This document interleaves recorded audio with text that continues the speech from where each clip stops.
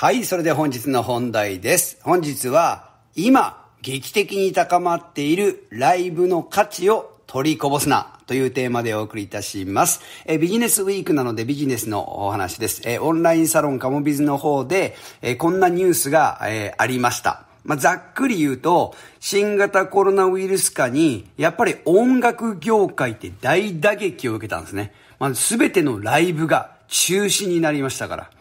そんなコロナ禍の中で音楽業界は新しいチャレンジをやってきた。例えば、もともと集客に、まあちょっと苦戦をしていた、クラシックの業界においても、えー、音夏っていうフェスがあるんですけど、これコロナ禍に出演する機会がなくなった音楽家を救おうということで、クラシック業界初の24時間オンラインライブ配信をやります。で、この音夏を企画したのはフリーアナウンサー、長井美奈子さんなんですけども、まあ、その方がいろいろインタビューをしたりとか、あと YouTuber で有名な方を呼んだりとかっていう風にして、どちらかというと今までクラシックに触れる機会のなかった、まあ、若者などにもクラシックを知ってもらうという取り組みを、まあ、オンラインだからこそできることっていうのをコロナ禍に取り組んできたってことです。で、この長井美奈子さんは、日本のクラシックファンは国民の1%と言われてますが、これを2倍の2%に高めたいという意気込みでやってらっしゃるそうです。すごいですよね。あとこの音夏というフェスではですね、いわゆるまあ西野昭弘さんが言うところの VIP 戦略をやっておりまして、えー、1テーブル4人掛けは10万円の席があります。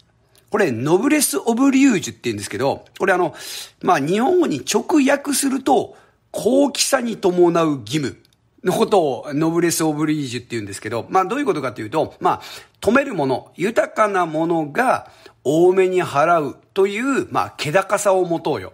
という意味で、まあ、VIP 戦略ですね。えー、富裕層の方に高めの席を買っていただくことによって、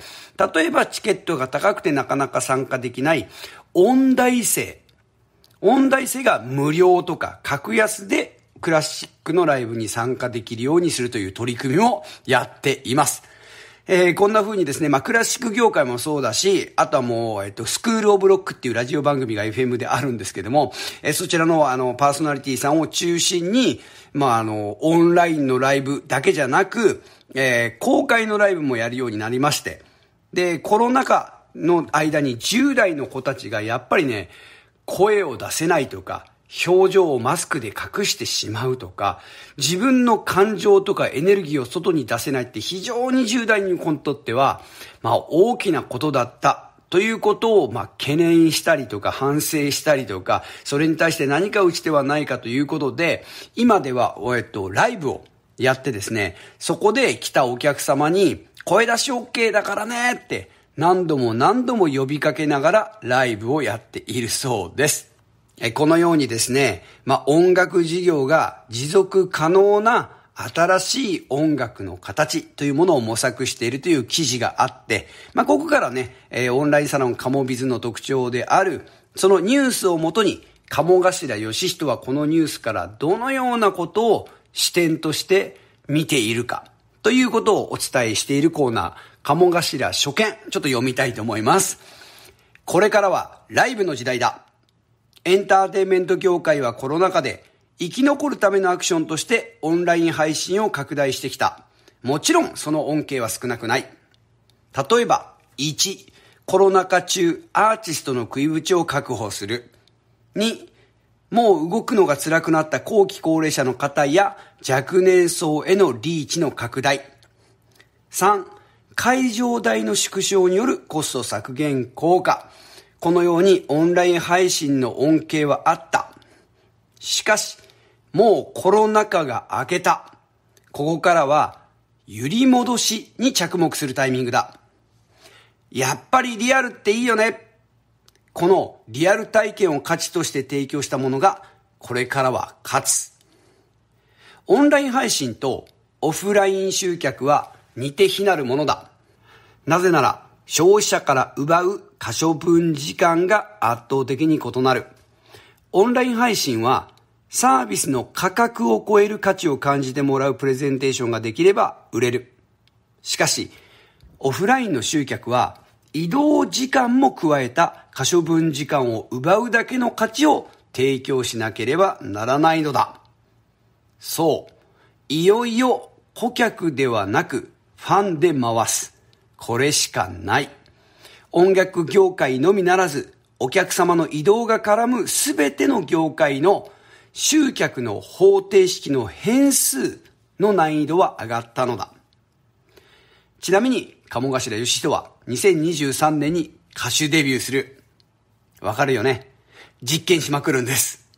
チャレンジライカベイビーを社会現象にするために、鴨頭義人は様々な挑戦をしてデータを取りに行きます。ますます良い情報を撒き散らす。パワーアップしていきます。まあ、ここまでがオンラインサロンの記事になりますが、実際ね、東京鴨頭ランドっていうのはやっぱりコロナ禍になって、まあ、ほとんどがオフラインの集客、スタートダッシュセミナーというようなね、あの、年末年始に全国ツアーをやっていたりとか、働き方革命といってね、数千人のホールの貸し切りの大イベントをやったりとか、まあそれ以外にも連続講座である話し方の学校やコミュニケーションの学校なども基本的にリアル参加が、まあほぼほぼ全部だったんですよね。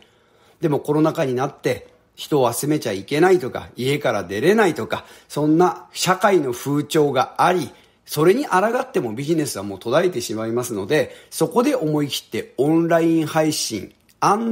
リアル参加のハイブリッドセミナー、ハイブリッドイベントに切り替えました。だから音楽業界が進んできた道のりと東京鴨頭ランドが歩いてきた道のりはすごく似てるんですよね。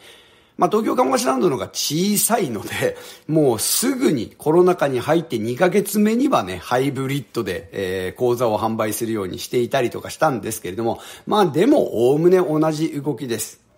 そして、いよいよコロナ禍明け、みんながそろそろ動きたい、移動したい、リアルに人に会いたい、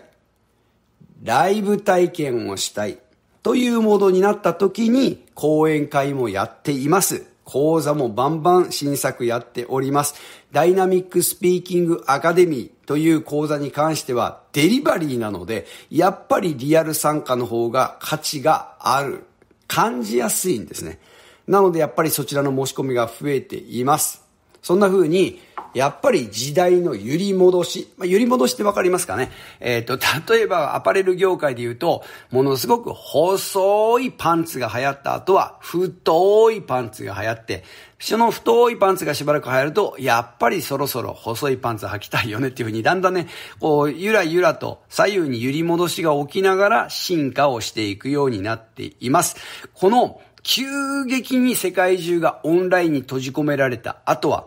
間違いなくライブの価値が高まる。ここを取りこぼさないようにビジネスやっていきましょう。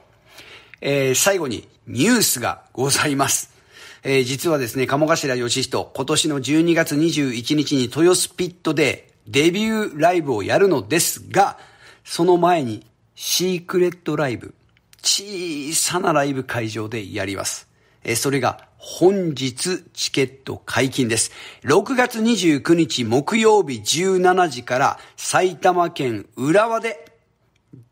150人つったかな？ものすごく小さいライブハウスで、えー、ダイヤモンドユカイさんと鴨頭義人でライブをやります。スタンディングの150っていうと、えっ、ー、と、普通の席付きの講座で言うと50人ぐらいのサイズですよ。そこにダイヤモンド愉快と鴨頭義人歌っておりますので、かなり迫力のあるライブになると思います。おそらくこちらのライブチケット、すぐに完売してしまう気がしますので、えー、本日6月29日木曜日17時からのチケット販売、遅れないようにポチッとしておいてください。